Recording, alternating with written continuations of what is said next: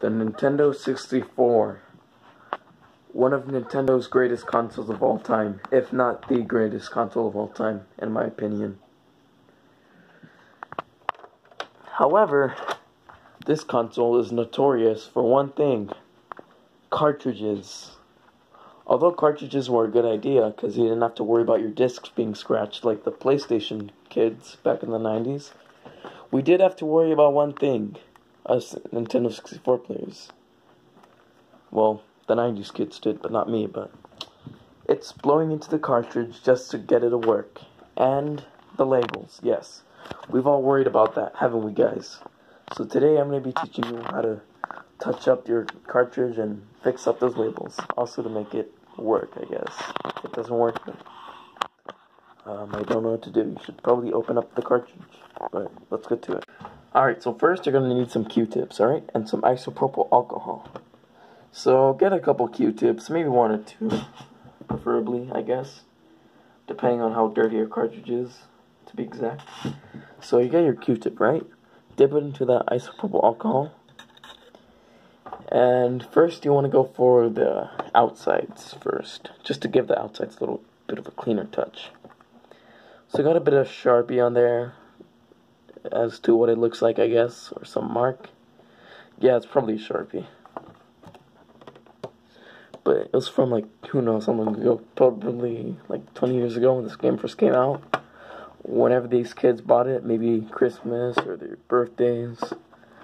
Actually, when I first got this cartridge, I tested it out to see which profiles were in this game. And surprisingly, the guy who sold this, the vendor at the swap meet I went to, and Frankensons, it just completely blew my mind because I found all these like save files on it, but I actually deleted the save files sadly because I wanted to start my own adventure. There was one more slot left, although I wanted to delete them all just because this was now my game of or copy of Shadows of the Empire. I mean, so can't really get in trouble for that because it's not their copy anymore. Obviously, the people who previously owned this and sold it to the vendor, presumably, from what I'm assuming, they forgot to erase their save data. Probably because their N64 broke, or they never had the time to, or they just sold it like that. Because it got lazy, who knows. But the vendor sold me this game for about $15. Not too bad. Although it's in like the worst condition I've seen a cartridge in in my days. Um, I'm gonna touch that up right now. So basically, what I'm doing with this Q-tip and the isopropyl alcohol is just um, cleaning out like the outsides, right? Getting all the dust and dirt and debris off, right? That's what you want to do. Just go for the corners too. You can even try to peel off your labels too and replace them. Although I don't have like a replacement label of me and handy. You could also just like print out your own label online. You just want to make sure it's like the right size. I don't know what the right size is for labels, but you could just compare it to your cartridge label that you have like currently on right now.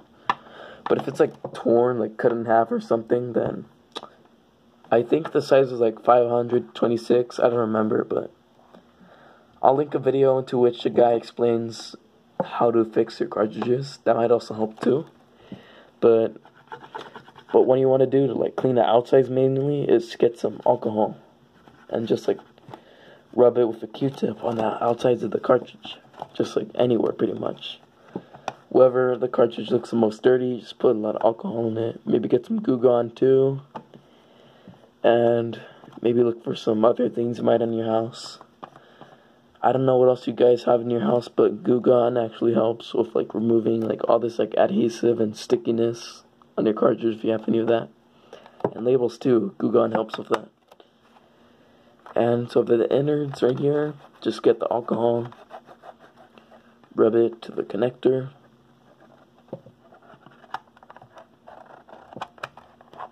You want to press down but not too hard. And then get your Q-tip, the dry part, clean it out. Don't go too hard on this thing because you don't want to damage it. But you do want to dry it up though, so that way the game actually works. and like you don't have to like blow into the cartridge. But if you must blow into the cartridge, then do it. Yeah, so I actually bought this Shadows of the Empire copy for $15 like I said earlier. So far from this cleaning, it looks like it's getting in a bit of better condition. I definitely do appreciate the fact that these guys actually did clean out the cartridge a little bit and tested it out. I'm just cleaning a little bit more to see if there's any like dirt and whatnot I can remove from the insides too.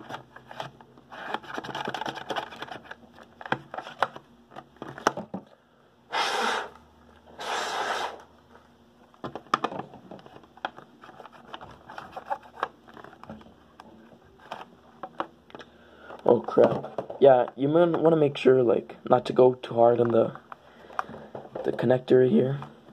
Oops, I accidentally touched it, my bad. Cause then you could accidentally get some cotton from the Q-tip inside, so you don't want to do that. If not, then just get another Q-tip like what I just do. I already used like four or five Q-tips just to clean this thing so far, maybe even six. I don't remember, it lost count. But so far, the cartridge actually looks way better than when I bought it. Shoot. Um, but yeah, just clean out your cartridge with some isopropyl alcohol and some Q-tips. Pretty easy, you guys. If you don't have it laying around, you could probably just find it like at the pharmacy or something like that. Or just like at any store, like retail stores like Target or Walmart, whatnot. I don't know where you usually find this stuff in like what aisle, but I think it's like usually in the um usually in like the medical aisle. So maybe you could go to your local pharmacies too, and you should find this stuff. But the one I'm using is 50% isopropyl alcohol. You could just like get whatever you want, I guess. I really don't know, but I think it just matters if it's isopropyl alcohol only. I'm not sure about that, but you can also look up other tutorials online. But like I said earlier, um, get some Goo Gone also, clean out the cartridge. And if you want to better clean out your cartridge, you can also get a, um, one of these things called a one-up card. You can buy one online. I'll link a description below on my channel for that. Um, so yeah. I'll leave a link to a couple products that might help you guys with cleaning out your cartridges and Game Bit screws because I'm going to buy one of those pretty soon. But, yeah. Good luck with cleaning out your cartridges. I hope your games work, guys. And I hope this tutorial's helped. Don't forget to like, comment, and subscribe. Share this video with your friends. And, um, yeah. What's more important, though, is that I help you guys out and that the whole outcome is that your games work and they're just like perfectly good condition. But you could probably just order some replacement labels online from like certain websites and whatnot, and maybe even eBay. But yeah, hope this video's helped.